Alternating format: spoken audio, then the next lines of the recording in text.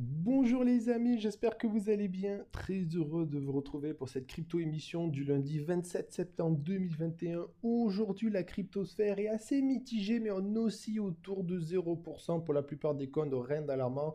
Un bitcoin à 43 450 dollars exactement aujourd'hui. Je suis passé en fond blanc pour la petite remarque. Vous me direz si vous préférez le fond noir de d'habitude ou le fond blanc de maintenant. Ça m'intéresse, donc n'hésitez pas à le mettre en commentaire, comme ça je sais qu'est-ce que vous préférez. Voilà. Alors, un Bitcoin 43 460 dollars. Donc, ce week-end, il s'est à peu près rien passé. Sauf qu'on a quand même fait une tapée de mèche assez bas. Bon, ok, on a tapé une mèche à 40 800 dollars à peu près, comme avant. Ou hier, pareil, un petit peu de, de vert, de rouge. Bon, voilà, rien de spécial ce week-end. Aujourd'hui, qu'est-ce qui se passe? Wall Street vient d'ouvrir. Bon, on verra s'ils sont bullish, bearish. Pour l'instant, on se fait rejeter sur les 44 000 dollars sur la, ici, la Tenkan Daily. Et on passe dessous la MA21 Weekly. Alors, la MA21 Weekly ici, qui est au 43 421 dollars, c'est de la résistance, genre la Kijun. Voilà, la résistance vraiment qui rigole pas. Euh, ça retient des prix. Regardez la Kijun ici qui avait retenu les prix pendant des jours et des jours. Tiens, je vais passer en autre couleur. Je vais passer en en, bleu. Voilà, en bleu. Direz si vous aimez le bleu. Donc, on a retenu la Kijun ici. Euh, elle a retenu le prix la Kijun. Puis la Kijun, après, ici, elle a retenu aussi, elle a fait son support. Là, elle refait support. Euh, résistance, pardon. Là, elle a refait support. Bon. Donc, la Kijun, ça rigole pas. Et là, la MA21 Weekly, c'est pareil. C'est la cousine de la Kijun. Elle aussi, elle rigole pas. Donne-moi du bleu, putain. Merci. Et donc, pour l'instant, on se fait retenir, mais genre bien retenir. Regardez, on s'est fait retenir ici le 21, le 22 septembre. Euh, ça fait résistance. Après, on l'a pété, ça fait un petit support. Bon, on s'est renfoncé. Maintenant, elle fait résistance depuis 3 jours, la M21 Weekly. Et ce qui est un petit peu alarmant, c'est qui n'est pas top top, c'est qu'on a quand même poussé le prix aujourd'hui jusqu'à 44 400 à peu près. Et on se fait rejeter complètement, mais pile poil sous la MA21 Weekly. Tu vois, pile poil sous la MA21. Donc ça, ben, c'est pas top. C'est-à-dire que la MA21, vraiment, joue son rôle de, de, résistance ici parce qu'on est sous le bas. Donc, ce qui serait assez bullish, ça serait de péter la MA21. Voilà. Bon. Déjà, ça serait une première étape. Et si jamais on pète la MA21, il faut voir quand même qu'il y a la zone de short ici. C'est là où tous les shorteurs, les gens qui veulent que le marché baisse, euh, voilà, attendent ben, pour, pour un peu euh, vendre du Bitcoin. Voilà. Donc, ça sera pas, ça sera pas fini, quoi. Faudrait dépasser ça. Alors, Scénario bullish bearish comme d'habitude. Le scénario très bullish, c'est que ok, on pète, on pète, on pète et on dépasse tout ça et surtout on dépasse la Kijun Weekly au 46 791 dollars. La Kijun Weekly, il faut la dépasser parce que bah, c'est une très grosse résistance, on le voit. Hein. Je vous le prix ici, là ça fait support, résistance. elle, va, elle, va, faire résistance, la Kijun Weekly, ça c'est clair. Il faut la péter. Si on la pète et qu'on clôture au-dessus, elle fera office de support et donc ça sera top. Ok, donc premier scénario bullish, tac tac on pète tout et go to the moon. Et si on passe là, déjà on sera pas loin d'être tiré d'affaire. On sera très très bullish. Scénario mi bullish mi bearish, eh ben écoute, euh, la MA21 elle fait office de résistance, on n'arrive pas à la passer et on peut s'enfoncer. Donc scénario pour ma mi bullish mi bearish et comme avant, on va retester la MA50 weekly qui est pareil, qui là ici une grosse résistance au support, ça dépend si on vient du haut ou du bas. Mais la MA50 weekly, c'est tellement quelque chose de puissant que euh, ce serait pas surprenant d'aller la retester si tu veux. Voilà, ce serait pas surprenant. Bon, et elle est à peu près aux 38 000. Au 38 000, on a des indicateurs qui nous montrent qu'il y a des gros ordres de baleines. Donc, casser les 38 000, ça sera pas facile, facile. Si on casse les 38 000, on pourrait voir la Kijun Monthly aux 34 300 dollars, qui est aussi une grosse, grosse résistance. Et si on pète la Kijun Monthly, c'est direction les 30 000 dollars où il y a la MA21 Monthly cette fois au 30 478. Et si on pète la MA21 Monthly, alors là, c'est les enfers à peu près. Bon. Donc scénario mi-bullish, mi-bearish, on va voir la MA50 weekly au 38 610 dollars. Et scénario plus bearish, là qui joue, et encore plus bearish, la MA21 monthly. Donc là, on a quand même des grosses résistances ici, des résistances monthly et euh, weekly et monthly qui sont pas faciles à péter. Donc bon, voilà. Donc c'est pas facile d'aller vers le haut, mais c'est limite, je dirais peut-être un peu plus dur d'aller en bas que en haut. Parce que en haut, qu'est-ce qui nous attend? Bon, On a la MA21 Weekly et la Kijun, mais en bas, il a la MA50, vous voyez, il y a 3. C'est 3 contre 2 pour l'instant, au niveau des grosses, des grosses zones importantes. On verra bien. Cette semaine va être euh, cruciale euh, parce que bon, euh, on va avoir un peu la tendance. Hein. Je pense pas qu'on va arrange toute la semaine un peu comme ça en faisant un peu rien. Pour vous m'excuser, je fais le ménage en même temps. Le mec il fait ce qu'il veut. Je pense pas qu'on va juste faire bing bing. On va pas faire bing bong. Pourquoi? Parce que là on a ok une grosse résistance, mais Le seul support qu'on a pour l'instant, c'est la SSB, cette ligne rouge, le nuage, ok? Donc bon, scénario, ça peut être dans le scénario bullish de, de surfer au-dessus du nuage et de monter, de monter comme ça et de, et de péter, de pas passer sous le nuage ne pas passer dessous. On veut pas passer dessous parce que c'est quand même assez bearish. En tout cas, tu accentues la bearishitude quand tu passes en dessous. Mais un surf du nuage par le haut, enfin pas par le, la CSB par le haut, comme ça, tac, tac, tac, ça, ça peut être euh, un scénario aussi, un scénario bullish. Voilà. Bon.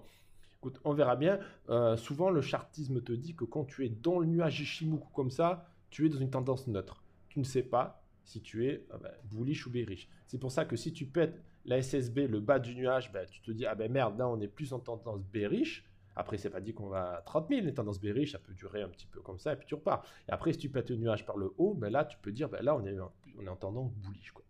Non, voilà, donc pas, voilà, c'est dur de dire des choses pour l'instant. Regarde, c'est des bougies vraiment avec des grosses mèches en haut et en bas. Donc tu vois, ça se fait, ça se rachète, ça se fait vendre, là, ça se fait vendre ici. Donc ça, ça bataille, ça bataille mais il n'y a pas des gros volumes, c'est pas des grosses bougies aussi, donc on verra bien. Alors moi, mon avis personnel, qui n'engage que moi, et bon, c'est un avis comme un autre, hein, hum, je, je dirais que peut-être on va retester la MA50 Weekly. Je vois bien une méchouille euh, pas jolie jolie, parce que là tu vois, on a fait une, gros shoot, une espèce de petite consolidation, gros shoot, peut-être là une espèce de consolidation, pour encore un shoot, tu vois. Bon, et notre consolidation, après cette consolidation, elle peut nous, faire partir vers le haut, ou alors pareil, nous refaire un shoot.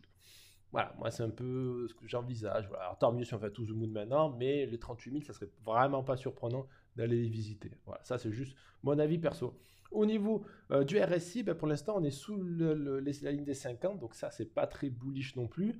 Euh, à voir, ce que là, qu'est-ce qui nous dessine euh, Bon, il y en a qui diraient, ok, un W c'est génial, on va to the moon, mais moi je vois plutôt bientôt une formation d'un M euh, si demain on fait une bougie rouge, on peut avoir un M qui se dessine et, un M, euh, ça peut faire bobo si on casse ici. Donc euh, le RSI, il a une tête, voilà, plus d'un M que d'un W, hein, à mon sens. Bon, mais pas très, pas très bullish. Et au niveau du MACD, le MACD, on ne sait pas trop en fait, parce que le MACD, vraiment, euh, ici, tu es bearish, tu dis, ah ça y est, on va croiser bullish to the moon. Ah ben non, on se renfonce, on se dit, ah ça y est, on va croiser bullish to the moon, un vert, on y va to the moon. Ah ben non, on se renfonce encore plus bas, et on est encore plus, à chaque fois, on est plus bullish que ce précédent. Pourquoi? Parce qu'à chaque fois, le momentum, il casse euh, la zone précédente. Là, tu vois, ici, euh, pardon, mon petit pinceau, ici, on a cassé le plus haut d'avant, ici, on a cassé le plus haut d'avant. Pour l'instant, ici, on n'a pas le cassé. Euh, donc on n'est pas très loin, mais on est moins. C'est-à-dire que les bears, ils ont moins, ils, augmentent pas en puissance, on va dire. Voilà, c'est un peu l'idée. Alors là, faut savoir aussi que là, on fait des W, des W comme ça. Dès qu'on va casser bien le zéro, ce qu'on va voir ici, ça risque d'être joli, hein, théoriquement. Bon, mais il faut le casser. faut le casser. Si c'est pour faire juste un comme ça, un petit P de souris qui finalement euh, se casse la gueule, c'est pas la peine. Mais euh, ce qu'on peut voir de bullish dans toute cette bearishitude du MACD, c'est qu'on n'a pas pété l'ancien ici, l'ancien plus bas, si tu veux. Euh, par contre, si jamais on se met à prendre du gros shoot et qu'on casse ici, alors là, ça va être très très moche. Ça va être très très moche. Bon. Donc pour l'instant, voilà, c'est pas, voilà, mitigé, c'est mitigé. On va faire un peu de macroéconomie aussi pour voir où on va. Alors, L'USDT, le Tether, stablecoin Tether par rapport euh, au Bitcoin, ah, c'est bon, je suis en bleu, on va le garder. Donc là, ben, qu'est-ce qu'on dit ces derniers jours? Ben, Regarde, ici c'est plat, quoi. C'est plat et ça ressemble à un truc plat comme ça. Donc déjà, ça, ce que tu vois là, on refait ici en miniature. Euh, est-ce qu'on va refaire ça ici? C'est vraiment la question que je me pose moi depuis pas mal de jours. Et euh, ben, il y a des chances que... Enfin, il y a des chances... On dirait qu'on va faire un truc comme ça, parce que la création de Tether toute plate, ça veut dire que ben, tu as moins d'éjections, quasi pas beaucoup d'injections de cash, d'euros, dollars ou du yuan ou d'autres monnaies que tu veux pour l'USDT pour après racheter des cryptos. Parce que là, c'est plat. Quand tu as ça, ça veut dire que là, les gens crament leurs dollars, leurs euros, ils injectent euh, ben, masse d'argent euh, en USDT qui permet d'acheter des cryptos et ça te fait un gros bull run de crypto. Voilà. Tether créé dit de l'argent qui rentre de la cryptosphère, ça c'est cool. Et Tether pas créé, qui descend, dit que les gens limite partent du monde de la crypto, euh, crament le SDT, voilà, et là dit euh, bah, il bah, y, a quasi plus d'acheteurs, c'est surtout ça. Et là pour l'instant il n'y a pas beaucoup d'acheteurs là. Ou alors après on peut dire oui c'est des gens qui ont déjà euh, acheté du Tether avant, oui, mais quand tu vois un Tether plat comme ça, une création de, SDT plate comme ça, c'est c'est pas bullish quoi, c'est pas bullish. Et quand, tu vois la gueule de la charte ici, là voilà un petit truc comme ça quand même. Hein moi, c'est le M que, j'ai dans la tête quand je vois un truc comme ça. Je vois pas un W to the moon comme ça. J'espère, mais euh, voilà. Bon, C'est pas facile. Alors, au niveau de la bourse par rapport au Bitcoin, eh ben là, malheureusement, c'est pas top top. Hein. Pour l'instant, on a une petite tendance baissière sur le Nasdaq, sur le SP500. Ben, tu vois que là, on faisait que monter, monter, monter, monter. Et là, à chaque fois, on fait des. Euh, hop, petit pinceau, merci. On fait des plus hauts de plus en plus bas. Et pour le SP500, pareil, de plus en plus bas. Et Bitcoin, pareil. Donc, ça, ben, c'est pas bullish. C'est pas bullish. Alors, ça peut durer euh, peut-être en court terme, moyen terme. Est-ce que ça va être du long terme On ne sait pas. Euh, ce qui ferait très mal, c'est casser les plus bas d'avant, casser ce plus bas pour le Bitcoin, donc ben, le Bitcoin cassé au, les 40 000, euh, ici le Nasdaq cassé les 4 850 et l'SP 500 cassé les, les euh, toi t'es qui toi? Non c'est les 4400 là, le Nasdaq les 14 000 et 15 000, Bon, tu as compris. si on fait ça, alors là ça va faire mal partout, ça va mal partout. Donc tout est très corrélé. Est-ce que c'est l'affaire Evergrande qui fait ça? Peut-être que oui, peut-être que non. Ça fait un petit peu de FUD. Mais euh, on, alors, ce qu'on sait aussi, c'est que le mois de septembre est réputé en bourse. Enfin, réputé, non, c'est les statistiques qui te montrent ça, sur les statistiques sur tous les mois de l'année. Et le mois de septembre est un mois euh, négatif sur la bourse, c'est-à-dire que beaucoup de profits, voilà. Beaucoup de gens, d'instits, euh, prennent des profits sur la bourse. Et c'est ce qu'on voit là, le septembre, pour l'instant, on regarde ici le 1er septembre, bah, c'était là. Hein. Et là, ce, mois de septembre 2021, il n'a pas dérogé à la règle. mois de septembre, à partir de là, et puis hop, prise de profit par les gens. Là, hein. Septembre ici, l'aspect 500, prise de profit. Hein. Euh, Bitcoin, euh, septembre ici, bah, prise de profit.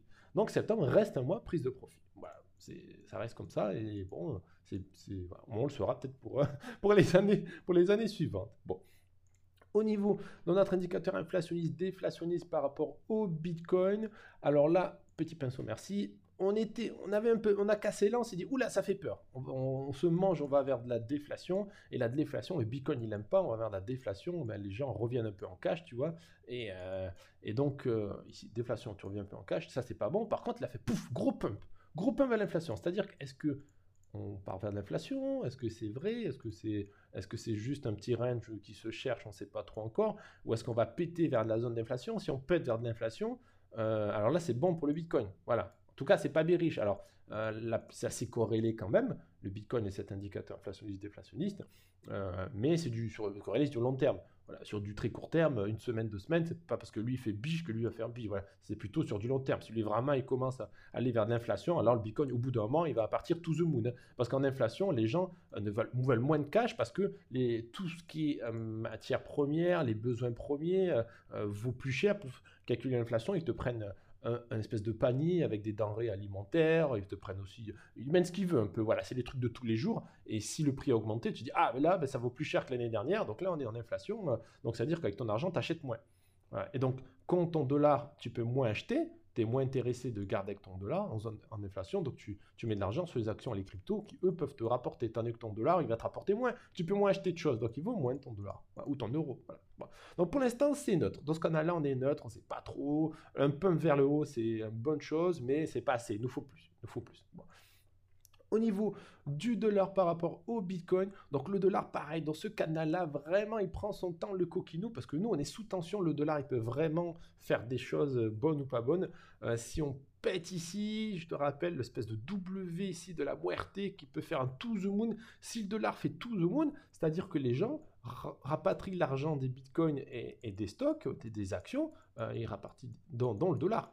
Donc ils reviennent en dollars. Parce que le dollar, il fait pas tout the moon tout seul euh, magiquement. Le dollar, s'il fait tout the moon, c'est que des gens reviennent en dollars. C'est qu'ils réinjectent en dollars, tu veux. Donc, euh, donc si le dollar fait tout the moon, les marchés boursiers, les marchés crypto vont moins aimer.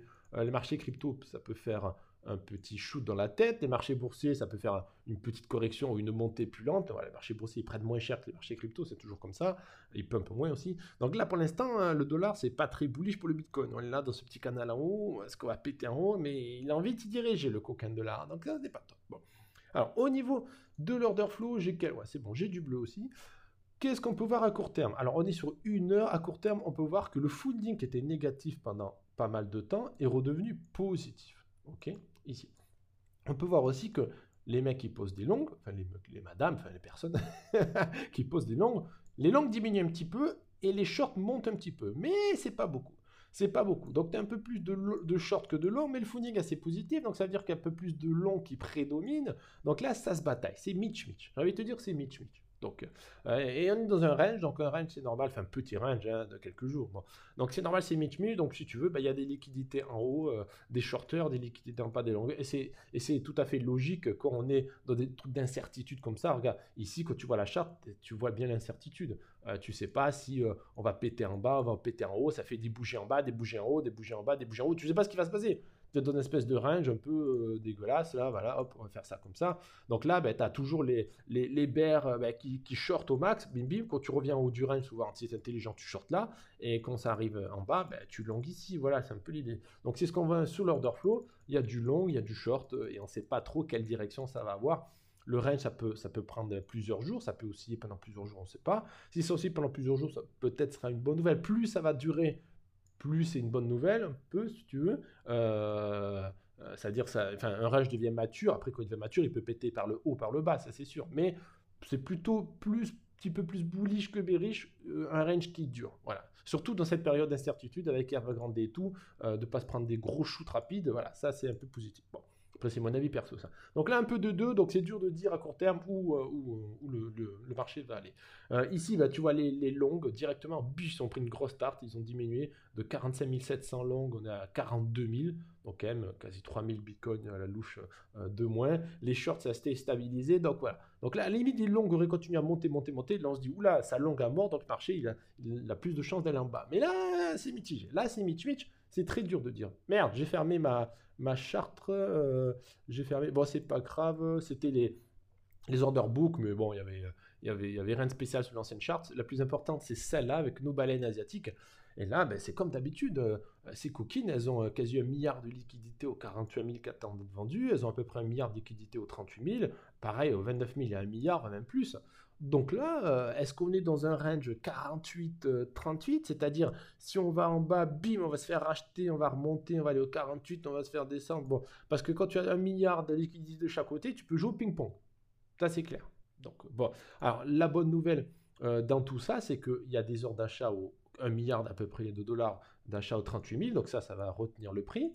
Euh, donc ça, c'est une bonne nouvelle. L'autre bonne nouvelle, c'est qu'il y a pareil un milliard d'achats aux 29 000, voire même plus qu'un milliard, un milliard et demi. Ça, c'est une bonne nouvelle. La mauvaise nouvelle, c'est que bah, y a des ventes ici aux 48 000. Donc elle, elle, en, se met, en faisant ping-pong, une baleine, ça se met bien. Une baleine, ça achète ici, ça vend là, ça gagne des millions. Sur un range, toi, tu fais rien. Tu attends, tu fais zéro. elle, sur un range, elle vend d'en bas, elle vend d'en haut, et elle, achète, elle vend d'en haut, elle achète en bas, et elle se gagne des millions, voire des centaines de millions. Voilà, parce qu'il leur faut une petite fluctuation comme ça. Quand tu brasses des centaines de millions, euh, des petites fluctuations, ça permet de gagner beaucoup de millions. Voilà, pour l'instant, on n'est pas trop. Mais péter les 48, ce sera pas facile, vu qu'il y a des gros ordres de vente ici. Hein. Et les 48, si tu veux, c'est la Kijun. Voilà, c'est un peu au-dessus de la Kijun Wiki. Tu vois, c'est un peu l'idée. Donc, euh, pour être sorti d'affaires, il faut péter la Kijun Weekly et, et le petit nuage. Voilà, bon, logique quoi. Euh, au niveau des options, donc là, 28 septembre, 29 septembre, il n'y a quasi pas de Bitcoin, on s'en fiche. 1er octobre, 15 000 Bitcoin. 1er octobre, pourquoi pas, mais bon, c'est pas énorme, 15 000 Bitcoin. Max Payne Price à 45, un gros pic bear à 42, un pic bull à 48. On sera entre 42 48, peut-être au Max Payne Price à 45. En ce moment, ça aime bien aller au Max Payne Price. Bon, 45 euh, c'est un peu plus que maintenant, donc ça veut dire qu'on on va ranger, on va ranger encore toute cette semaine, possible. Hein. Euh, ce qu'on va regarder, c'est fin octobre, 24 000 bitcoins, max payne price à 45. Bon, je pense que ça va monter d'ici fin octobre. Euh, max payne price à 45, c'est-à-dire qu'on va continuer à ranger, ranger, ranger. Bon, on a quand même un gros pic ici de boules à 100 000. On a des bons pics de boules, 80 000, 70 000, 60 000, 50, des pics de bear à 40, 35, voire 30. Ceux-là, bon, ils sont un peu insignifiants. Donc bon, on verra. Ça manque un peu de maturité, les options pour l'instant, c'est normal. On a une grosse expiration euh, vendredi dernier, donc il faut que ça se replace. Au niveau de notre baleine, je réactualise. Donc elle, elle continue son DCA. Elle continue. Elle a acheté euh, avant-hier 25, euh, le 25, je veux dire 290 bitcoins. Elle continue son DCA. Et regarde, elle y va. Hein. Là, ça y va. Depuis le petit crash qu'on a eu, elle a vendu le, 3 septembre. le petit crash qu'on a eu ici le 7 septembre eh ben, Madame la baleine, euh, elle achète, elle achète, elle achète, elle DCA. Donc ça, c'est une petite bonne nouvelle. Ça reste dans la bonne nouvelle qu'elle DCA, donc elle ne pense pas qu'on va se cracher encore plus vu qu'elle DCA. Donc très bien. Au niveau des petits indicateurs long-termistes, le Bitcoin Mayer Multiple Band, donc lui, bah, il te montre qu'en 2014, quand tu es resté sous la MA 200 Daily qui est en rose, tu t'es mangé un bear market dans les dents. Ici en 2018, pareil, sous la MA200, tu t'es mangé un beer market et la MA200, tu l'as pas récupéré. Et là, malheureusement, on est dans le cas où on est sous la MA200 et ça se joue à pas beaucoup. Donc, est-ce qu'on va vraiment se prendre un gros shoot et faire un beer market et taper les 27 000 dollars, comme cet indicateur dit, ou on va reprendre la MA 200 et on va repartir to the moon? Bon, voilà, là, on ne sait pas trop. C'est, sympa de voir des indicateurs comme ça, un peu long-termistes, voir un peu d'où on vient et où on va. Là, c'est la même chose, sauf que on te met la MA 200 daily en turquoise et la MA 128 daily en, violet. Et lorsque la violet, euh, la, la, violet est en dessous, donc la 128 en dessous de la 200, qui est en turquoise ici, euh, tu te manges un beer market. Voilà, c'est pas bon si tu veux. Donc en 2014-2015, il y a eu ça. 2018, pareil, la 200 est restée au-dessus de la 128. Et dès qu'après, on a eu croisement, si tu veux, de la 128, dès que la 128 croise la 200 par le haut, ah là, ça te fait des bons, des bons petits boules, tu veux, des bons petits boules, euh, des périodes boules. Et là, pareil, ben, dès qu'on a recroisé, la 128 a croisé à la hausse la 200, c'était parti pour le bull run 2020. Voilà. Donc pour l'instant, on est bear parce que la 200 est au-dessus de la 128. Euh, alors là, la 128, tu vois qu'elle arrête de chuter, elle se stabilise. Si la 128 repasse au-dessus de la 200, ça sera très bullish. C'est ce qu'il faut retenir surtout. Bon, donc, euh, mais pour ça, il faut du vert. Il faut du vert sur le marché. Euh, le Bitcoin Investor Tool, il te montre les meilleurs moments pour acheter, pour vendre. Si tu es au-dessus de la MA 738 x 5, 730 x 5, il faut faire attention parce qu'après, tu as eu des crashs. Dès qu'on l'a dépassé, un bout c'est le crash. Là, pareil, que ça depuis 2011, 2013, 2014, 2018. Bon, pour l'instant, on l'a frôler limite, tu vois. Si cet indicateur, euh, on l'avait vu avant, on aurait dit ah, euh, on la touche, on la touche, cette MA 738, 730 pardon x 5, euh, ça commence à puer du fion et peut-être que là on serait dit allez, on va s'edger un petit peu et on aurait eu raison. Bon, Et après, les meilleurs moments pour acheter, c'est quand tu es dessous la 730 daily x 1, la moyenne mobile 730 x 1. Et donc là, c'est le meilleur moment pour acheter. Et si tu es le roi de l'univers, tu achètes quand tu touches la moyenne mobile 200 weekly cette fois. Et là, tu es le roi du pétrole et de l'univers. Pourquoi? Parce qu'à chaque fois, tu as des touchettes et c'est les bottoms. Ça a été les bottoms. Euh, alors là, on l'a pas ici en 2012, il manquait d'infos. Mais en 2000, 2015, 2016, c'était le bottom. 2018, 2019, c'était le bottom. Euh, crash Covid, ça a été le bottom aussi. Donc là, euh, voilà, tu attends les 15 000. Bon, ça sera un peu plus de 15 000, parce que plus le temps passe, plus ça monte. Bon, après, il faut peut-être qu'on ira jamais. Hein. Bon, on sait pas trop. Et dernier indicateur, le Bitcoin Always Profit and Loss. Lui, c'est pareil lorsque tu es dessous cette, euh, cette euh, ici euh, ligne orange de Rally the Price. ça veut dire que tout simplement les gens vendent à perte totale. On appelle ça la capitulation. Donc ça, c'est le sentiment de marché en bas. Lorsque tu es en vert, les gens ils capitulent, c'est-à-dire ils vendent tout à perte tout simplement. Voilà, c'est les gens qui se disent, bah, le Bitcoin c'est fini, je préfère vendre à perte et perdre 50% ou 60% que plutôt perdre 100%. Et dans ces moments-là, quand les gens vraiment capitulent, c'est là où c'est le meilleur moment d'acheter leur Bitcoin, parce qu'après, il y a un to the moon, parce que lorsqu'ils capitulent, tu peux pas aller plus bas. Tu peux aller plus bas parce que bon, bah là, ça y est, les gens, ils lâchent, les, les, les, ceux qui vraiment qui étaient fébriles sur les bitcoins, ils lâchent tout. Et là, bon, bah après, tu, quand ils ont tout acheté, c'est fini. Enfin, quand ils ont tout lâché, qu'ils ont tout vendu, quand il n'y a plus de vendeurs, hop, ça fait tout ce moon. La capitulation, ici, on l'a pas eu. Est-ce que le marché va aller jusqu'à capitulation? C'est la grosse question qu'on se pose. Euh, la capitulation, pour l'instant, c'est sous les 20 000 dollars. Alors là, c'est clair que si on passe sous les 20 000, les gens vont se dire Ah, ça y est, Bitcoin à 10 000 dollars ou à 15 000 dollars ou, ou j'en sais rien au moins. Euh, donc ça ferait capituler beaucoup. Déjà, euh, arriver aux 20 000, ouais, déjà ça, ça, serait, ça ferait déjà un petit peu mal, mais sous les 20 000, genre 15 000, alors, je pense que as, tu liquides énormément de gens. Énormément de gens, quoi. Euh, ici, le Rainbow Price qui nous dit toujours, c'est le, on est dans la zone jaune, donc il faut hold ces bitcoins, il faut les garder. Pour l'instant, on fait rien. si on va dans les 36 000, 26 000, si on va en bas, on peut commencer à accumuler à partir à peu près des, des, des 36 000, 37, 38. Et si on commence après à aller dans les 66, 90, 124, surtout les 90, 126, là, va falloir poser des questions peut-être pour prendre un peu de profit. Au niveau de l'Alcon saison, on, a, on est allé, on a fait un gros pump là ici pour aller en, en, en saison, pardon. Tous les alcons surperforment le Bitcoin. Euh, là, pour l'instant, euh, c'est un peu indécis. la dominance la dominance du Bitcoin augmente et c'est bah, parce qu'en fait, lorsque tu as des bougies, par exemple ce week-end, des grosses bougies énormes comme ça, mais avec des grosses mèches, c'est très indécis. Il y a les acheteurs qui, qui, mangent le, prix, ça fait des mèches jusqu'en bas, les vendeurs qui vendent. Donc euh, les altcoins, euh, au milieu de tout ça, ils savent pas trop. Donc c'est pour ça que quand il y a de l'indécision un peu sur le marché, il y a Bitcoin dominance aussi monte. Bitcoin dominance souvent il monte lorsqu'il y a des gros shoots, des grosses bougies rouges ou des grosses bougies vertes sur le Bitcoin, ou alors vraiment en période un peu d'incertitude avec des grosses mèches en haut et en bas. Voilà. Après, lorsque le Bitcoin range sagement, voilà, les altcoins qui sous-performent. Donc pour l'instant, on est, entre les deux. Voilà, pour l'instant, tu vas en au milieu. On sait pas trop. Les altcoins aussi font des bonnes performances. Voilà, donc pour l'instant, c'est bien d'avoir un peu des deux, Bitcoin et altcoin. Au niveau du hash rate, euh, tout va bien au niveau de la santé du réseau Bitcoin, donc il euh, n'y a pas de problème au niveau des mineurs, tout tourne bien et ça crée des blocs et tout le monde est content. Alors, au niveau euh, des news Twitter, donc un peu de boule et de bear, notre ami TraderJ qui est méga bearish, lui, et qui nous dit, voilà, donc là on a une pattern comme ça, donc il a mis le Bitcoin sans les bougies, et il t'avait dit avant, regarde, moi je suis trop fort parce que je t'avais dit qu'on avait ce canal et qu'on allait toucher l'eau du canal et après se faire rejeter. Et on a fait exactement ça. On a touché, on s'est fait rejeter.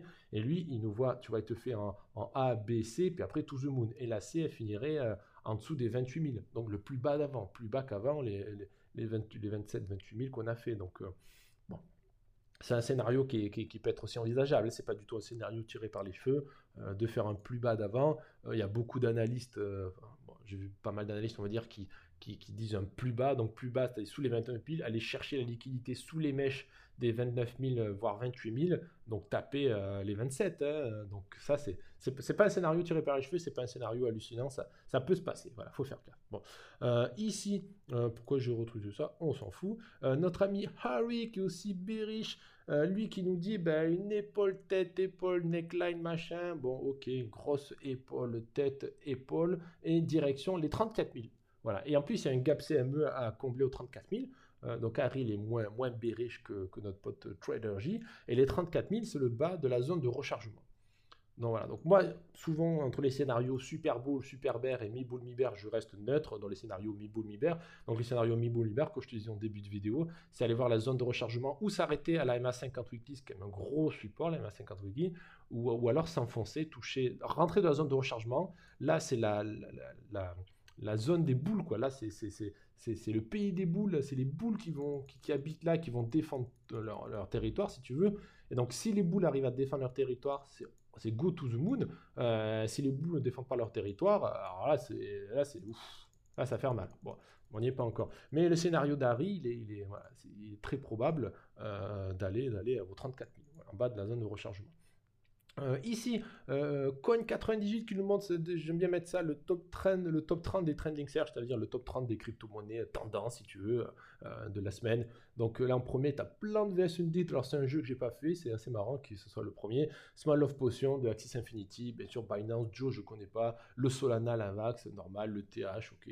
L'Illivium, tout le monde est dessus alors que le jeu n'est pas sorti, la crypto l'a explosé. Donc, c'est pas mal de voir tout ça. Axis, Axis toujours le vent en poupe, le jeu Axis. Donc, ça, écoute, c'est très bien. Euh, le cake ici. Enfin bon, voilà, je te laisse jeter un oeil, c'est pas mal de voir un peu les cryptos tendances. Euh, Cryptos qui nous dit que Booba va sortir un morceau inédit sous la forme de NFT. Donc Booba, t'as vu, euh, qui nous lance, qui se met au NFT. D'un coup, c'est cool. ça veut dire, t'imagines, un morceau enregistré euh, sous NFT, si tu veux avoir ce morceau de musique, bah, il faut que tu achètes le NFT, un nombre d'exemplaires limité, ça serait énorme. Hein. la musique sous NFT, un nombre d'exemplaires limité, toi tu seras là, regarde, moi j'ai ce morceau de musique là, euh, euh, toi tu l'as pas, si tu le veux, je te, je te le vends, et tu passes par la blockchain et tout, c'est top. Franchement, les NFT, c'est la révolution. Alors, Yubi, donc Yubi qui fait partie, qui est la plus grosse plateforme chez les, nos amis les Asiatiques, enfin les Chinois, euh, qui interdit maintenant les utilisateurs de Chine. Donc en fait, Binance et Ubi euh, ben, interdisent tout utilisateur qui a un numéro de téléphone chinois ou, je passe des coordonnées Chine. Donc euh, c'est un peu compliqué pour eux maintenant. En tout cas, la Chine, elle n'a pas rigolé, elle a dégagé tous les mineurs et maintenant elle interdit tout chinois d'être inscrit dans les plateformes. Donc ils sont obligés de passer par les plateformes décentralisées. Et donc, c'est ce qui a fait exploser aussi les tokens, genre Uniswap, SushiSwap et compagnie.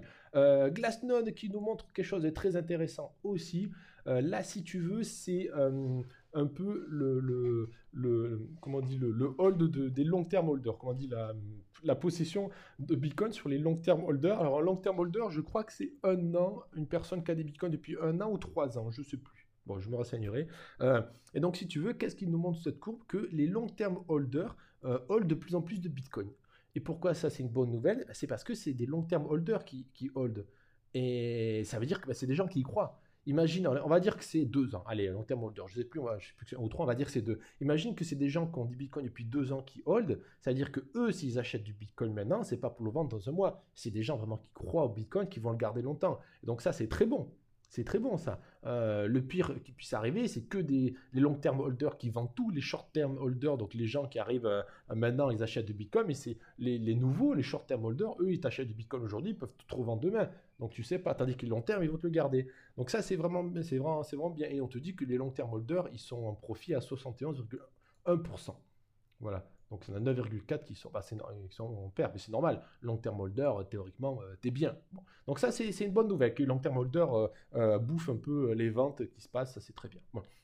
Un Bitcoin archive méga boule comme pas possible, comme d'habitude, et qui te disent, ben voilà, là, c'est l'envoi des Bitcoins sur les échanges. Quand c'est vert, ça envoie sur les échanges. Quand c'est rouge, ça quitte les échanges.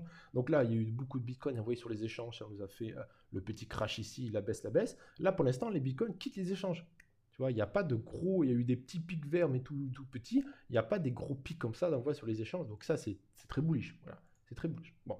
Euh, et Bitcoin Archive qui nous dit la balance euh, sur les échanges est aussi petite qu'il y a trois ans et demi en arrière. C'est-à-dire les Bitcoins sur Binance, sur Coinbase, sur tous les échanges comme ça, euh, il y a aussi peu de Bitcoin que trois ans et demi en arrière. Ça veut dire qu'il y a énormément de Bitcoin qui sont hold euh, chez les gens, de leur euh, crypto wallet privé, sur leur ledger, ou enfin chez eux, quoi, vraiment au chaud. Et ça, c'est méga bullish. C'est méga bullish. Voilà. Donc voilà, comme d'habitude, on a du bull, on a du bear. Euh, donc c'est bien d'avoir les deux en tête. personnellement, moi je pense que ouais, c'est compliqué, on est mitigé. Il y a des nouvelles boules, ça garde, ça hold, ça achète. par contre, il y a la zone de rechargement ici qui fait coucou, coucou, coucou. je pense peut-être on irait au pire faire une dernière jambe baissière euh, avant de repartir. Et ça, et ça tomberait bien parce que c'est la zone de rechargement du dernier mouvement, de ce mouvement-là géant. C'est ça la zone de rechargement. Tu sais, quand il y a eu toute cette montée-là, qu'est-ce qu'on disait tous les jours, tous les jours, je te saoulais avec, je te disais attention, cette grosse structure doit corriger, attention, structurellement par là, chartisement par là, une structure, elle doit corriger, c'est normal que ça corrige, c'est sain. Et donc une correction, et on disait qu'est-ce que c'était une correction? Ben, Une correction, tu avais des paliers, tu mettais les Fibonacci, bon je ne vais pas te les tracer, voilà, et tu avais tes paliers de Fibonacci, et on disait une correction saine, c'est au moins aller voir les 38,2 de Fibonacci qui étaient à la louche là, ou la zone de rechargement maximum qui est là. Donc qu'est-ce qu'on a eu? Les 38,2 de Fibon, on les a perdus, qui étaient à peu près là à la louche. Donc euh, maintenant, le prochain stop, si on y va, c'est la zone de rechargement. Mais c'était naturel que cette grosse correction, euh, que, cette grosse structure corrige. Donc si jamais toi, tu vois un, truc comme ça, que tu te dis, oh, fais chier, moi j'ai acheté du Bitcoin là et tout, mais si tu avais vu les vidéos, on disait, c'est normal, tout, le monde te dirait, enfin la plupart des gens te diraient pareil, euh, ça doit corriger. Une structure comme ça doit corriger. Corriger, alors c'est ou euh, faire un, gros range, un gros range pendant longtemps, ok, pourquoi pas, ça peut corriger avec un gros range, ok, mais aussi ça corrige la plupart du temps avec une respiration du marché, c'est un petit shoot, quoi, un petit shoot dans la tronche. Donc voilà, j'ai beaucoup parlé aujourd'hui, excuse-moi. Ah tiens, tiens, pour les derniers, écoute, euh, vu que là, euh, c'est bon, hein, entre nous, hein, oh, eh, oh. on va regarder un peu du weekly. Bon, euh, le weekly, bon, écoute, je vais laisser les indicateurs. Alors, là où moi, je, ce qui m'inquiète un peu sur le weekly, c'est qu'on a perdu la Kijun. La Kijun, c'est cette droite ici rouge, enfin, cette, courbe rouge. Weekly, bon, je t'en parle, je te saoule avec depuis, depuis des mois. 46 791, c'est son prix. Et cette il faut savoir qu'elle a gouverné les beer markets de 2014-2018. C'est-à-dire qu'en 2014 et 2018, les gros beer markets là, que tu vois là, ici, là, tout 2014-2015 et tout 2018-2019, lorsqu'on a eu ces beer markets, on est resté sous la Kijun. ok? Dès qu'on a pété la Kijun, on a fait tout the moon. Mais on est resté sous la Kijun pendant tous les beer markets qu'on a eu. Donc moi, ce qui me fait peur, c'est on, on est sous la Kijun. Sous la Kijun, pour l'instant, on est bear, on n'est pas à l'abri d'un petit beer market qui peut durer 3 mois, 6 mois, j'en sais rien du tout. Mais la Kijun, c'est crucial. Il faut récupérer la Kijun, vraiment. Donc là, en weekly, on est un peu bear. Pourquoi? Parce qu'on a perdu la Kijun et on est sous la Tenkan aussi. La Tenkan weekly qui est en bleu, qui est en bleu ici, d'accord? Et on est aussi sous la MA21. On travaille la MA21 weekly là, qui est en pointillé euh, vert là. Donc pour l'instant, niveau weekly, on a quand même pas mal euh, euh, de, de béritude. On est, on est, sous des indicateurs, la Kijun, euh, la Tenkan, la MA21. Qu'est-ce qui reste? Il reste la MA50 ici qui est un petit peu remontée, tu vois. Donc je vais la remonter ici comme ça. Je fais la petite ligne et on la remonte un petit chouïa. Donc maintenant la MA50 elle a 39. Ça c'est cool. Plus le temps passe, ce sont plus tous ces indicateurs montent, donc ça c'est bien. mais alors, qu'est-ce qui serait méga bear, qui ferait très mal au cul? Ça serait perdre la SSB Weekly. La SSB Weekly qui a 37, si on la perd, ça ferait mal. Parce que, bon, il y aurait la Kijun et la MA21, comme je disais, en Monthly qui peuvent retenir. Mais là, c'est, disons, encore un, autre, encore indicateur de plus bear. Kijun perdu bear, Tenkan perdu bear, MA21 perdu bear, MA50 perdu bear, SSB perdu, encore plus bear, quoi. Encore plus bear. Bon. Et là, tu as ce qu'on a ici, la lag tu veux, cette courbe verte, et elle, lorsqu'elle te traverse des indicateurs dans le sud, un petit cours Ishimoku rapide, lorsque tu traverses des indicateurs dans le sud, c'est bear. Donc elle a traversé les prix, c'est déjà bear. ok? Elle a traversé la Tenkan, c'est bear. Qu'est-ce qui reste à traverser? La MA21, ok? Mais surtout ici la Kijun. Si là, la lagging span en vert, elle traverse la Kijun, c'est-à-dire que le prix descend sous les 38 000, ça pue du cul. Ça pue du cul. Ok Voilà. Niveau euh, beaucoup parlant, si tu veux. Après, on peut traverser euh, la qui jaune et le prix, Elon Musk fait, fait refait un tweet, fait, refait une caméra avec euh, Jack Dorsey et tout, et on part to the moon. Mais il faut savoir que là, pour l'instant, euh, cassage du prix, cassage de la Tenkad, c'est pas c'est attention. Et là, si on casse la qui jaune, oh, ça sera pas joli. Donc c'est pour ça que, ok, il y a des indicateurs boules qui nous disent très bien, ça achète, ça hold et tout, mais faut regarder quand même les prix, et le chartisme te dit, attention, on n'est pas sorti du tout de l'auberge, quoi, du tout. Voilà. Bon, excuse-moi, j'ai un peu beaucoup parlé. Donc, comme d'habitude, n'hésite pas à mettre un petit commentaire, un petit coucou foufi. N'hésite pas à me dire si le fond blanc tu as aimé ou pas. N'hésite pas à mettre surtout un pouce bleu et à t'abonner. Le plus pas à t'abonner pour qu'on continue cette aventure tous ensemble, les amis, dans la joie, la bonne humeur et l'amour. C'est beau ce que je dis. je te dis, passe une bonne fin de journée et à demain. Bye bye.